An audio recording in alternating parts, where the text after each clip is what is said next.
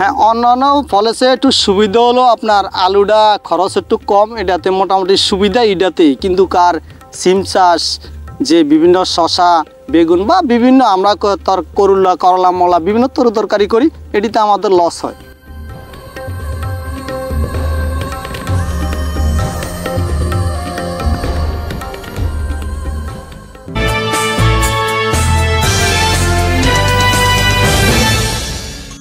মেটে আলু কোন্দাল জাতীয় ফসল? বাংলাদেশে এটি সবজি হিসেবে ব্যবহৃত হয়। বাণিজ্যিকভাবে এর চাষবাস তেমনটি দেখা না গেলেও প্রতিটি জেলায় বাড়ির চারপাশে গাছের নিচে মাচায় আঙিনায় বেড়ার ধারে এর চাষাবাদ হতে দেখা যায়। মেটে আলু গরম আবহাওয়ায় ভালো জন্মে। ঠান্ডায় গাছ বাড়ে না। শীতে গাছ শুকিয়ে মারা যায়। হালকা দোআঁশ মাটি বেশি উপযোগী। এ গাছ আংশিক ছায়াতে ভালো হয়। জীবিত গাছের জন্য মাচা, চাঙ্গা, বেড়া এসবের প্রয়োজন, কারণ এটি একটি লতানো গাছ। জাংলা বা মাছার জন্য অতিরিক্ত খরচ পড়ে না এবং বাড়ির আশপাশের পরিত্যক্ত স্থান বা রাস্তার ধারে গাছের নিচেও চাষাবাদ হতে দেখা যায়। এটি ওল, গোল আলু এসব সবজির মতোই ভর্তা, মাছ ও মাংসের সাথে রান্না করে খাওয়া যায়। তাই এর চাষ বিষয়ে একটু সচেতন হলে সবজির ঘাটতি মেটাতে বাড়ির আশপাশের পরিত্যক্ত স্থানের কীটনাশক ও বালাইনাশক ব্যবহার ছাড়াই এর চাষ বৃদ্ধিতে গুরুত্বপূর্ণ ভূমিকা রাখবে। মেটে আলু, ক্যালসিয়াম ও ফসফরাসের খুবই ভালো উৎস। এছাড়া প্রচুর পরিমাণে পটাশিয়াম ও সোডিয়াম রয়েছে এ আলুতে।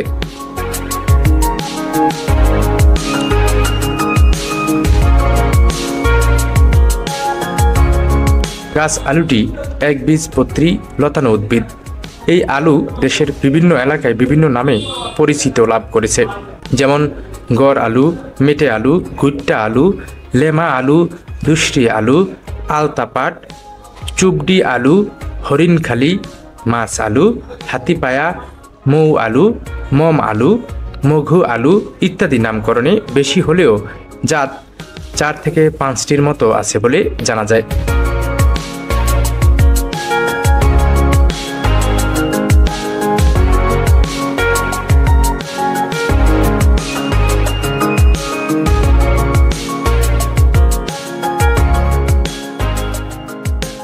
জাতভেদে মাটির নিচে প্রতিটি আলু দুই কেজি থেকে পঞ্চাশ থেকে ষাট কেজি পর্যন্ত হয়ে থাকে। এসব কোনোটি ডিম্বাকৃতি, লম্বাটে, হাতির পায়ের ন্যায়, হরিণের মাথার মতো ইত্যাদি আকার হয়ে থাকে। জাতভেদে পিঙ্ক কালার, ধূসর, মেটে রঙের আলু হয়।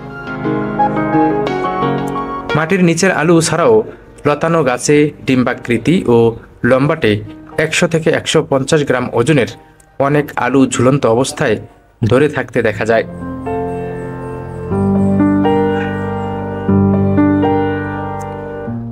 লতায় ধরে বলে, একে কোনো কোনো এলাকায় পাতাশি নামে পরিচিত। এই পাতাশি বীজ হিসেবে, সবজি হিসেবে এবং পুড়িয়ে বেশ মুখরোচক খাবার হিসেবে ব্যবহৃত হয়ে থাকে। সামান্য আঠালো এবং অল্পতেই সিদ্ধ হয় এরূপ জাতের আলু খেতে সুস্বাদু চাহিদাও বেশি।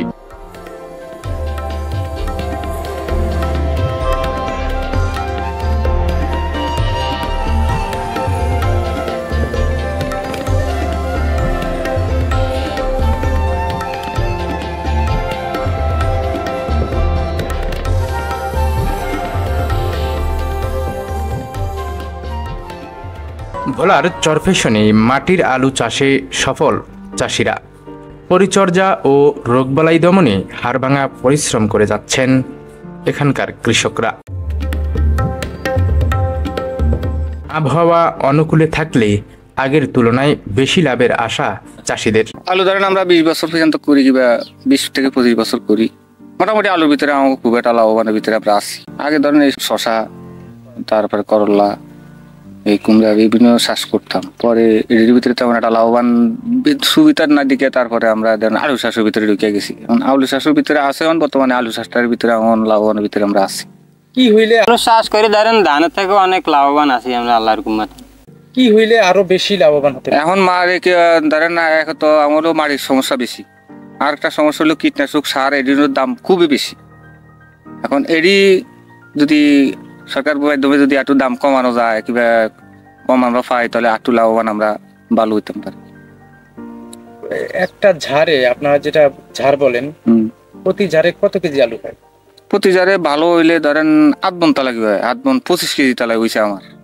আমারটা হ্যাঁ পঁচিশ কেজি হয়। হ্যাঁ। কত আর নর্মালের দেখে দেড় থেকে দুই কেজি।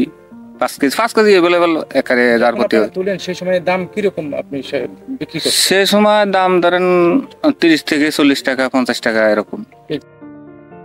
যদিও উপজেলার আসলামপুর ইউনিয়নে সব ধরনের সবজি চাষ করেন কৃষকরা তবে সম্প্রতি বিগত কয়েক বছর ধরে এখানকার চাষিরা মাটির আলু বা মেটে আলু চাষ করে আসছেন।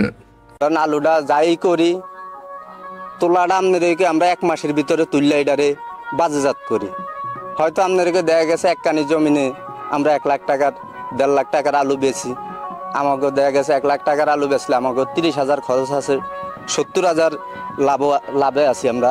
আমরা এই ভোলার চরপেশনের ভিতরে এই আসলামপুর এলাকাটায় সব চাষাবাদ আমরা করি। তো আমাদের আবার এই অঞ্চলে গ্রামের ভিতরে ধান চাষ তেমন করি না আমরা। করি শুধু তরকারির প্রজেক্টে আমাদের। এখানে আলুটা যে আমরা মাটির নিচে করি, এটাতে মোটামুটি আমাদের খরচ কম। হ্যাঁ অন্যান্য ফলেছে একটু সুবিধা হলো আপনার আলুটা খরচ একটু কম, এটাতে মোটামুটি সুবিধা এটাতেই। কিন্তু কার সিম চাষ, যে বিভিন্ন শশা বেগুন বা বিভিন্ন আমরা তর করুলা, করলা, মলা, বিভিন্ন তরু তরকারি করি, এটিতে আমাদের লস হয়।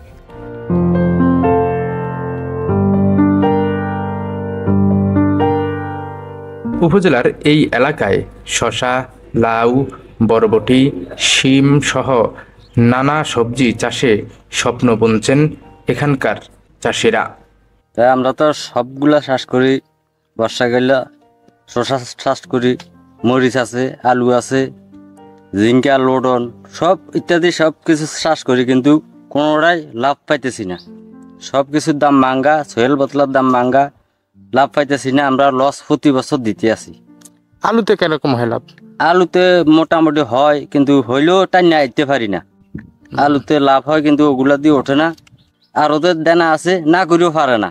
না করলেও সমস্যা আর ওদেরা চাপ দেয়।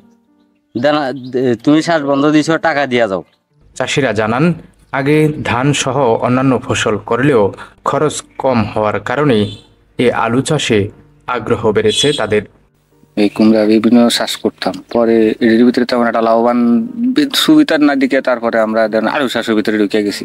তারা আরও জানায় অন্য ফসলে রোগবালাইয়ের ঝুঁকি বেশি থাকলেও মাটির আলুতে কম। আমাকে দেখা গেছে এক লাখ টাকার আলু বেচলে আমাকে তিরিশ হাজার খরচ আছে সত্তর হাজার লাভ লাভে আছি আমরা। প্রতি জারে ভালো হইলে ধরেন আট বন তালা কি হয় আট বন পঁচিশ কেজি তালা হয়েছে আমার। মাটির এই আলু রোপণের ছ মাসের মধ্যে পরিপক্ক হয়ে ওঠে।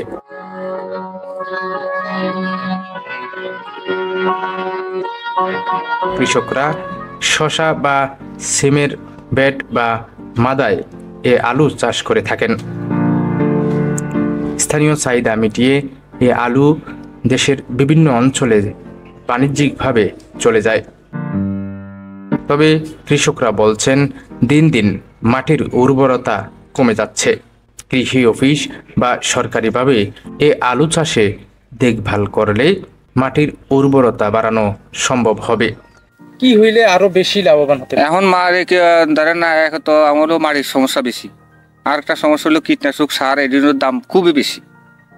এখন এরই যদি সরকার মাধ্যমে যদি একটু দাম কমানো যায় কিংবা কম আমরা পাই তাহলে একটু লাভবান আমরা ভালো হইতে পারি।